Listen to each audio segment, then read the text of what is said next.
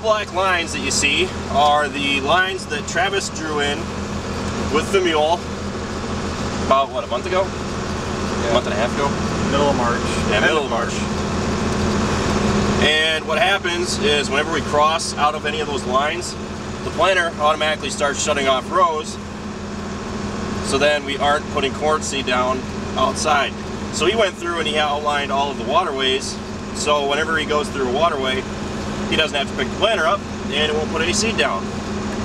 Now over long term or a long period of use that'll save you on seed because you are saving quite a bit by not just wasting the seed.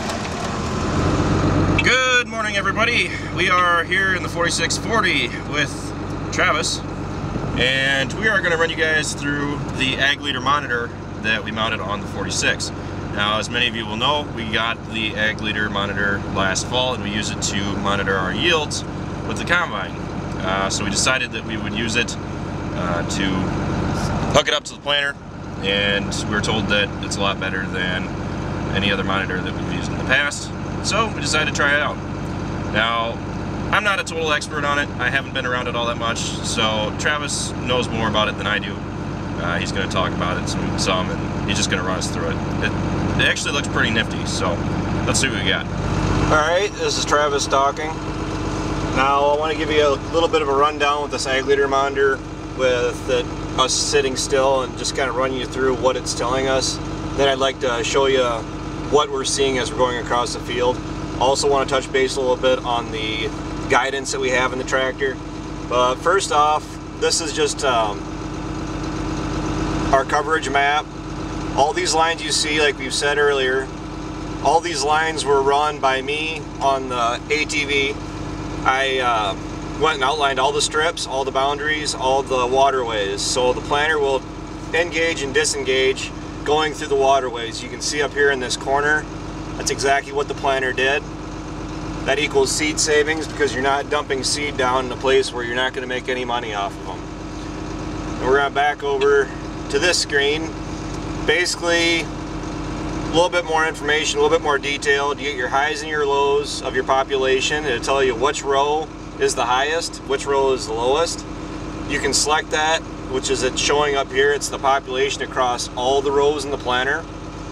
This is your singulation. Then again, it's all for all the rows and how they're performing. It will show you your skips and your doubles, spacing quality. This is our gauge wheel down pressure screen. We only have eight sensors on this because we don't have the hydraulic downforce yet.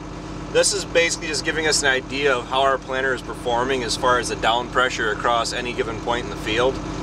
We haven't done any sod with it yet, which we're actually sitting on a strip that I'll have to turn the pressure up. And um, hopefully we can get something with that.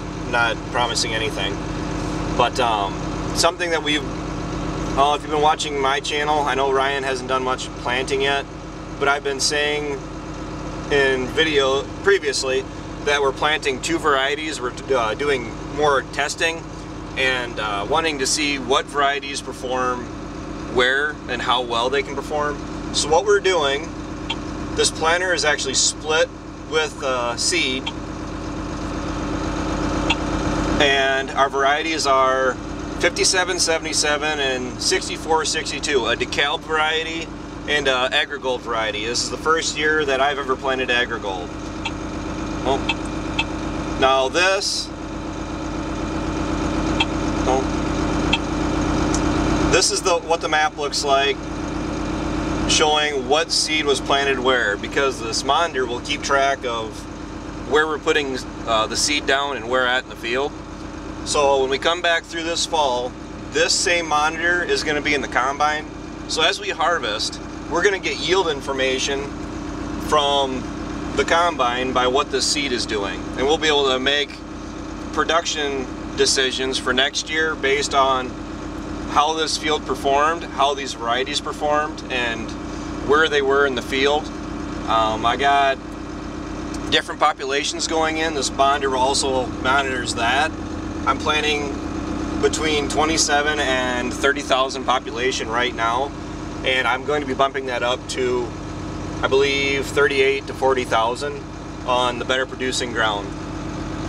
Now, when I run it, run this, this is how I normally have it set up. I have it set so it's giving me a behind the tractor view so I can see where I'm going.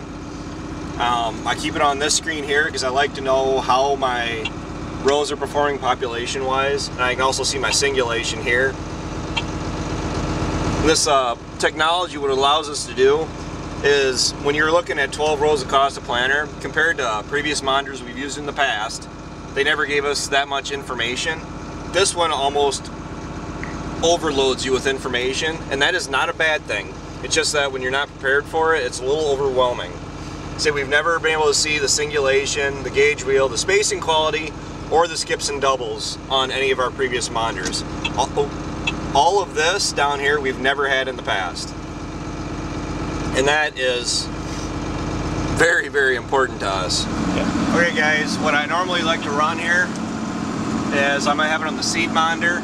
This is our singulation, popul percent of population for what I have it set for. I have it set to uh, my average rate is set at 32,000 and this is actually my population across the field. It goes from zero to 40,000 plus. Now what I'm doing is I'm going through and hitting my headlands where I know I'm going to be doing a lot of turning with the lower population because I don't see much point in putting down a higher population when I know that it's already going to be dinged from us driving on it. They say we've never been able to do this in the past and actually see the response to doing this. So this is our first year doing tests like this.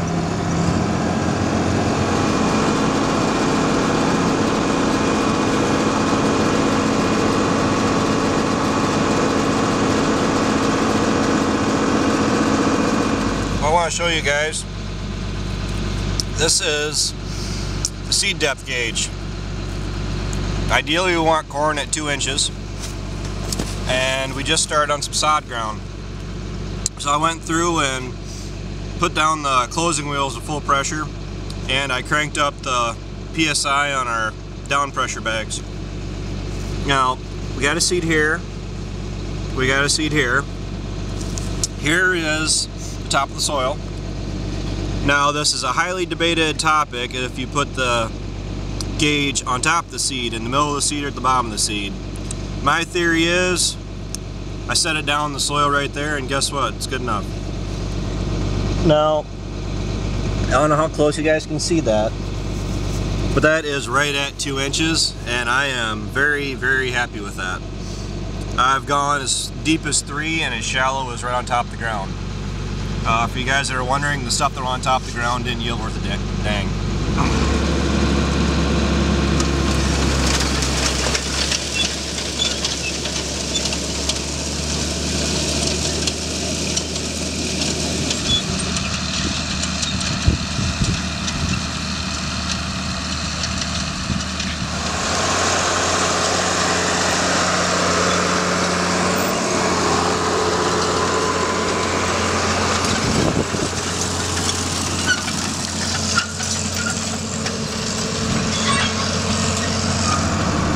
you guys are seeing, uh, what I had to do here is I had to have my boundary or my guidance. It's a smart pattern. Now what a smart pattern is when it comes to this ag leader uh, guidance is you have to make a pass, your first pass in any particular field and what it will do once you are done and you uh, turn back around and come back in your next pass below that one, it will automatically pick up where your last pass was and draw a line, which is what this red line is. It's what we're currently following. That is what it'll pick up and tell you what you need to follow or what it is going to follow. You say this field that we're in right now, I planted this whole thing except for the outside round, obviously, with the on track from Ag Leader and RTK guidance that's uh, fixed based RTK. Now if I want to switch my line, because uh, how SmartPath is, is that you're picking up lines that I did earlier. You know, as uh, you get in towards the center of the field, you can uh, hit this button right here and switch between the different lines you have that you can do. See, we're bouncing from the left side of the waterway to the right side. I'm gonna hit the guidance button, button. I'm gonna drop the planter in the ground and then it's gonna do its job. Now, with me not having to steer, what this allows me to do is to watch the planter's performance and uh, check my speed, my singulation, because your singulation varies with where you are oh, and um, your speed. What I want to do here, see my singulation dropped down to 89. Now it's jumping back up to 97. Um, I found that, actually you can thank my our dad, he found that 4.7 miles an hour, yet again, ignore that. 4.7 miles an hour is about ideal to get the best uh, singulation out of this unit. Now granted, every planter is different, every uh, farmer is going to be different, so you guys got to play with what your with your speed and what your equipment are capable of doing. I see as we're coming into the waterway, as each roll gets to it, they automatically shut off. And just like that, to disengage the on-track, all you have to do is turn the steering wheel and it'll disengage. We're all going to thank Ryan, uh, your host from How Farms Work, because he's currently folded up like a pretzel in here trying to get you your footage.